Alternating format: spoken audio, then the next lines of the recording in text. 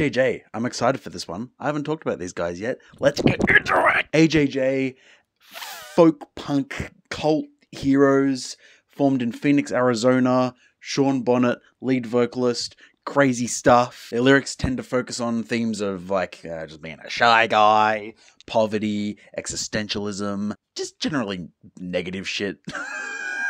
They've got a handful of very good records under their belt. Knife Man, uh, People Who Can Eat People.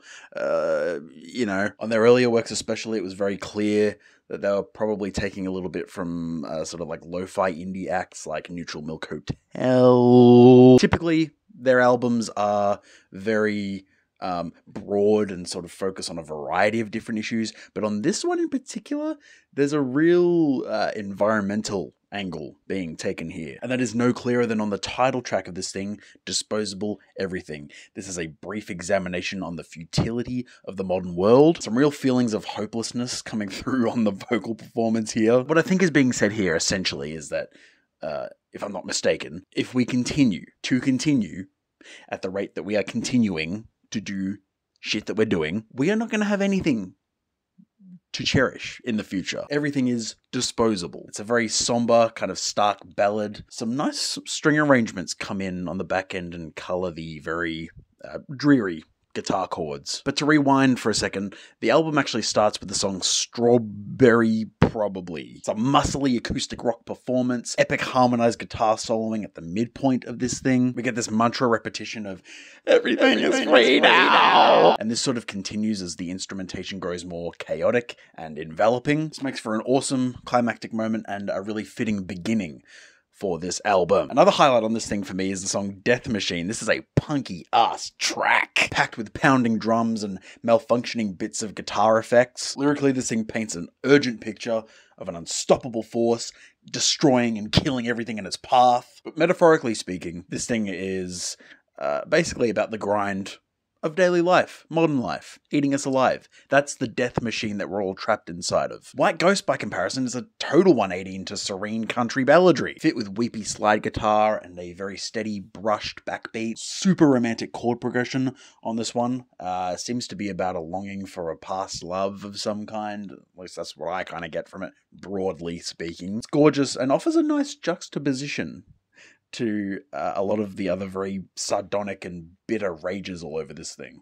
Baby Panda is a pretty seething critique about the way that we're treating the planet. A critique towards the powers that be that are um, fucking the ground and the sun, which is just great imagery uh, to describe what uh, is going on, uh, what, what, these actions. It's a total doomsday anthem packed with very sprightly vocal harmonies and another driving instrumental, as opposed to contrast the bleak lyricism all over this thing.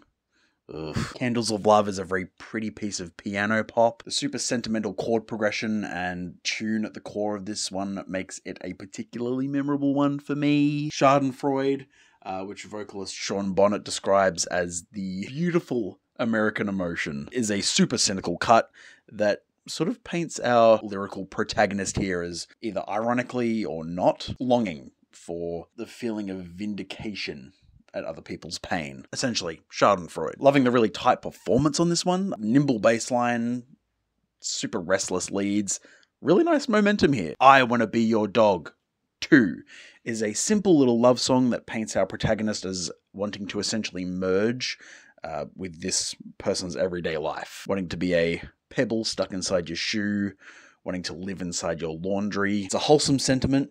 The instrumentation is super lush and dynamic. I give this one a thumbs up. Thumbs up song. Good one. Good song. Song. Fuck you for being so good. All of My Woulds is probably my least favorite track. Mostly because of its relatively uneventful instrumental progression. It gets stuck in this sort of stasis, and before it can really go anywhere, it just kind of gets cut short. I don't have a problem with its low key nature, but there are other low key tracks here that bring so much more to the table. So much more! In the Valley is a quaint but very poetic final moment for the album. The descriptive dystopian verses and solemn instrumental backdrop here make it quite a gut punch, especially with lyrics like In the valley of the valley of the land of no wind, There's a skull covered truck where adults play pretend. I taped over the beginning, but you won't miss the end.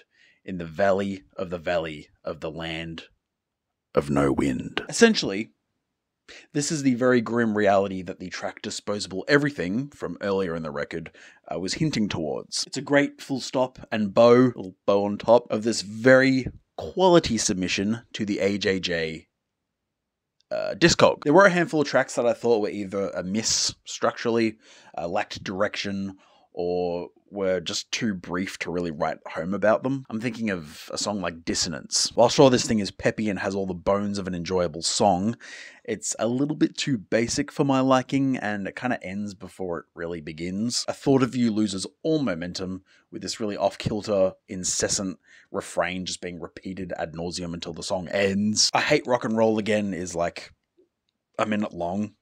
It's basically an interlude. Yeah, it's rowdy, but again, it's it's just kind of a head scratcher in the track list. But overall, though, this thing's good. This thing's good. I haven't really been at this level of quality for a while. This thing is good. This is like one of their best since Knife Man. This thing is super consistent, solid, uh, really effective in the way that it's written and performed. I like the more personal angle on a lot of these tracks. It's nice. It's nice. Yeah, those are my thoughts on this album.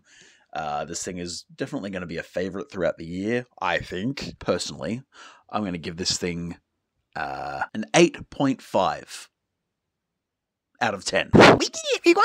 We did it! We got to the end of the review! And what did you think? Did you like it? Tell me why. If you're a fan of a lot of modern folk punk, I'm specifically thinking of like um, the Front Bottoms earlier stuff, or even a band like um, McCafferty, then you will probably enjoy a fair bit of what this thing has to offer, and and really what most of AJJ has to offer. I really do think they are one of the better bands in this style of music. Whatever you do, do not call this thing emo. I will slap you. Oh, and noodles are good! Every time, every time. It's because I'm sitting down and my legs are crossed, have been crossed for the last 12 and a half minutes. Uh, like and subscribe and comment and do all that other good stuff, stuff that makes Me feel warm and fuzzy inside. and it should make you feel warm and fuzzy too, because you're doing a good thing. You're contributing to, to to to this, to what's happening here. I'm done. I'm done here. It's a good album. It's a great album. Loved it. Loved it. No more FBI jokes. We're just gonna leave it there. Have a good sleep. Enjoy uh, your dinner tonight, breakfast or lunch, whatever. Just have a good one. Bye.